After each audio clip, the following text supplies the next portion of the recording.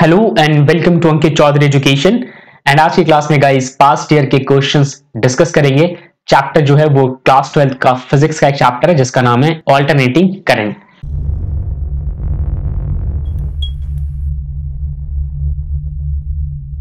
आइए डिस्कस करें आज का पहला सवाल। यहाँ आपसे बोला हुआ है कैपेसिटर ऑफ़ अननोन कैपेसिटेंस जिसमें 100 ओम का आपने एक रजिस्टर लगाया हुआ है। जो इंडक्टर है, उसके सेल्फ इंडक्टेंस की वैल्यू दे रखी है four divided by pi square right आपने इसको कनेक्ट कर दिया है सीरीज़ कॉम्बिनेशन में एक एसी सोर्स के साथ, जिसकी वैल्यू है 200 वोल्ट और फ्रीक्वेंसी है 50 हर्ट्स आपको इन गिवन डेटा के बेसिस पे कैपेसिटेंस की वैल्यू कैलकुलेट करनी है इंपेडेंस की वैल्यू कैलकुलेट करनी है सर्किट के अंदर, और साथ में आपको कैलकुलेट करना है कितना पावर डिसिपेट हुआ है पूरे सर्किट में। 2016 का ये क्वेश्चन है। आइए इसका आंसर डिस्कस करें। अगर मैं आंसर की बात करूँ तो ये मैंने टॉपर शीट से आंसर उठाया है, ताकि आपको क्लैरिटी बेटर मिल जाए कि कैसे आंसर को अप्रोच करते हैं। गिवन वैल्यूज़ को आप यहाँ पे लिख लीजिए। रेजिस्टेंस 100 ओम है, हमने लिख लिया यहाँ पे। सेल्फ इंडक्टेंस की वैल्यू एल है, वो उसकी वैल्यू फोर अपॉन में पाई स्क्वायर गिवन है, ये भी हमने लिख लिया। और हेनरी इसकी यूनिट होती है। सी हमें नहीं पता है। वी आर एम एस जो कि हमारा एसी सोर्स है, वो है 200 वोल्ट और फ्रीक्वेंसी जैसा मैंने आपसे बताया 50 लिख लिया। कैपेसिटेंस और हमें इंपेडेंस निकालना है, यानी कि जेड और सी हमें निकालना है ऑब्वियसली हम यही निकालेंगे। थीटा की जब हम बात करते हैं, यानी कि फाइव की बात एंगल की बात कर लेंगे तो वो है ज़ीरो डिग्री अब ये चीज़ ना आपको थोड़ा सा पजल करेगी, यानी आपको कैसे पता ये चीज़ ज़ीरो डिग्री है। अब जरा यहाँ पे ध्यान से नोट कीजिए। यहाँ पे बोला गया है कि current is in the phase with the voltage यानी कि करंट और वोल्टेज के बीच में जो फ़ेज़ है, वो बदल नहीं रहा। तो इसलिए आप फाइव को क्या बोलोगे? ज़ीरो डिग्री बोलोगे राइट चलो, आगे बढ़ते हैं। अब बात यह है कि जब कभी भी करंट और वोल्टेज सेम फ़ेज़ में होते हैं तो हमारे पास ये फॉर्मूला बन के आता है, क्या? L W is equal to one upon में सी डब्ल्यू अब ये खास कुछ है नहीं, बस आप यहाँ पे इंडक्टेंस को रेसिप्रोकल ऑफ़ कैपेसिटेंस लिख सकते हो। यानी कि रेजिस्टेंस जो होता है ना इंडक्टेंस के केस में और कैपेसिटेंस के केस में वो एक दूसरे के रेसिप्रोकल होते हैं। ये चीज़ आपको पता होनी चाहिए। एल की वैल्यू क्या है? फोर पाई स्क्वायर तो आप यहाँ पे एल की जगह ध्यान से देखो फोर पाई स्क्वायर पुट कर लिया। ओमेगा क्या है? ये चीज़ आपको नहीं पता। अब मैं आपको समझाता हूँ ओमेगा कैसे निकालेंगे। ओमेगा निकालने का तरीका यहाँ पे ये है। हमारे पास फॉर्मूला होता है v is equal to V naught sine omega T अब जो ये ओमेगा है ना, आप कैसे निकालोगे? ओमेगा को आप लिख सकते हो two pi divided by time period और आगे आप चाहो इसको लिख सकते हो टू पाई इन टू में म्यू, क्योंकि वन अपॉन में टाइम पीरियड होता है म्यू। अब ध्यान से जरा समझो टू पाई को मैं अपनी जगह पे छोड़ रहा हूँ और म्यू फ्रीक्वेंसी है, इसकी वैल्यू मैं 50 हर्ट्स लिख सकता हूँ। बिल्कुल तो यहाँ पे मैं लिख दूँगा 50 हर्ट्स यही सेम चीज़ ना, इस ओमेगा की जगह की गई है यहाँ पे। दिख सकता है आपको टू पाई इंटू में वही 50 राइट तो ये जो लेफ़्ट हैंड साइड में सारी वैल्यूज़ यहाँ पे मैंने आपको दिखा दिया। देखो एल की जगह हमने ये डाल दिया और ओमेगा की जगह हमने ये डाल दिया।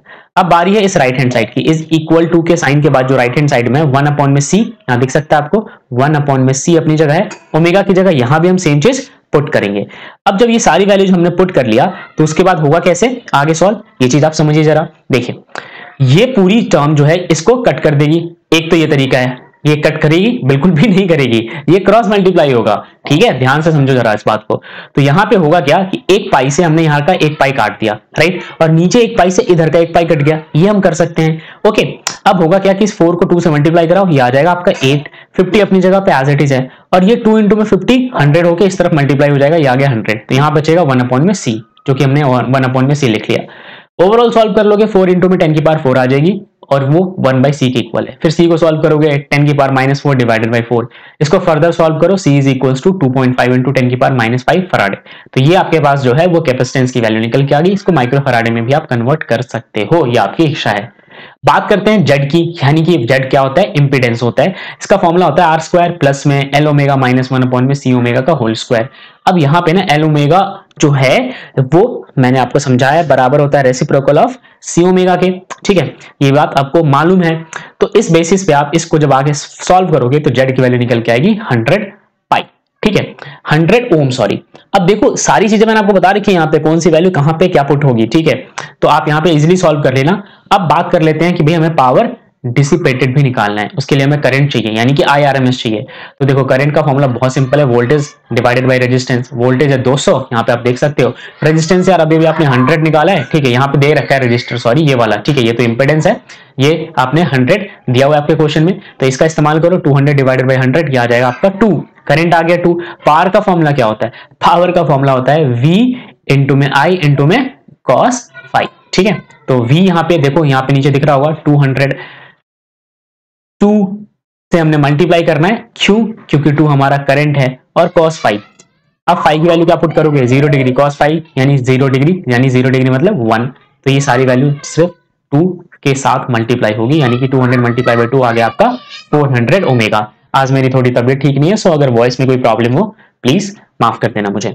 आगे बढ़ते हैं एंड डिस्कस करते हैं दूसरा सवाल। यहाँ आपसे बोला हुआ है कि जब आप एसी सोर्स के साथ कनेक्ट करते हो एक आइडल इंडक्टर को show that average power supplied by the source over a complete cycle is zero तो पूरे साइकिल के दौरान जो पावर आप सप्लाई करते हो, उस वक्त वैल्यू जो है वो ज़ीरो निकल के आती है। आइए आंसर डिस्कस करें जरा, इसका क्या होगा?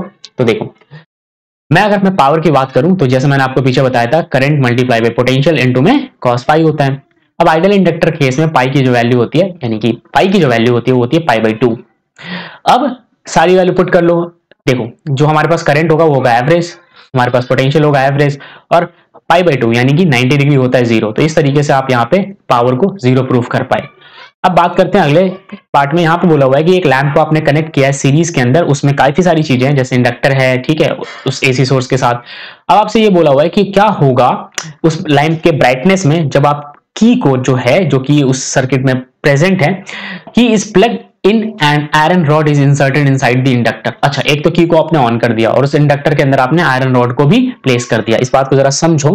अगर मैं आपसे समझाने की कोशिश करूँ, मान लो ये मेरे पास इंडक्टर है लेट सपोज़ इसमें मैं प्लेस कर देता हूँ आयरन रॉड और भाई जिस भी सर्किट में यहाँ पे मैंने इसको कनेक्ट कर रखा है, यहाँ पे जो की है, इस की को मैं ऑन कर देता हूँ। तो क्या घटनाएँ घटेंगी? ब्राइटनेस के ऊपर क्या इफ़ेक्ट आएगा? ये बोला हुआ है। तो अगर मैं ब्राइटनेस की बात करूँ तो ब्राइटनेस डिक्रीजेस ज़ाहिर सी बात है डिक्रीज तो होना ही है।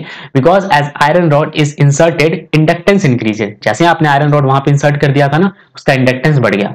अब यार इंडक्टेंस बढ़ने से होता क्या है कि भाई जो करंट है ना, वो कम होना लग जाता है। Hence the current will decrease ज़ाहिर सी बात है, और फिर ब्राइटनेस जो है अल्टीमेटली डिक्रीज कर जाएगा। 2016 का क्वेश्चन था। और डिटेल आंसर आप यहाँ पे देख सकते हो। बढ़ते हैं आज के आखिरी सवाल की ओर, जहाँ आपसे बोला हुआ है कि भाई एक इंडक्टर है जिसको हम एल से रिप्रेजेंट करते हैं, समझ में आ गया? ऑफ़ इंडक्टेंस एक्सएल ठीक है इज़ कनेक्टेड इन सीरीज़ और उसमें बल्ब भी आपने कनेक्ट कर रखा है। ज़ाहिर सी बात है एसी का सोर्स तो होगा ही होगा। यहाँ भी बोला हुआ है कि how brightness of the bulb change bulb का ब्राइटनेस कैसे बदलेगा? अगर मान लो कि जो नंबर ऑफ़ टर्न है इंडक्टर में उसको आप घटा देते हो अच्छा ये बड़ा अच्छा है।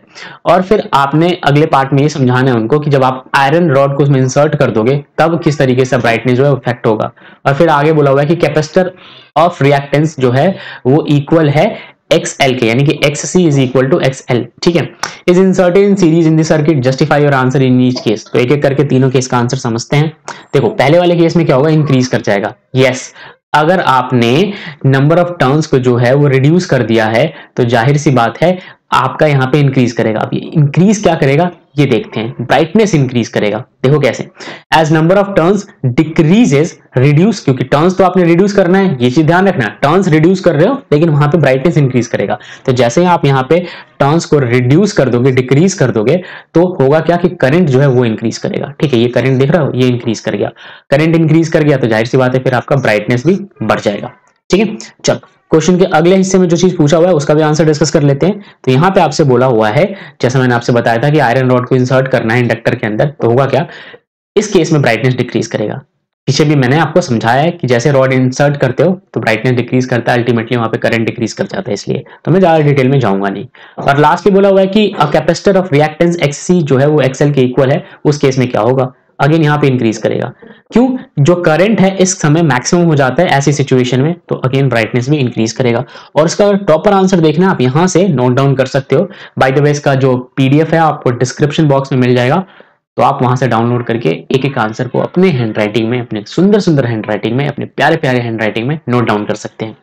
चलिए, ये जो स्लाइड्स थे यहाँ पे मेरा साथ था आपके साथ, यानी मैंने सारे क्वेश्चंस को समझा है बट इस स्लाइड पे आपको सारे क्वेश्चंस के आंसर खुद अटैम्प्ट करने हैं और सारे बच्चे कमेंट बॉक्स में अटैम्प्ट करेंगे।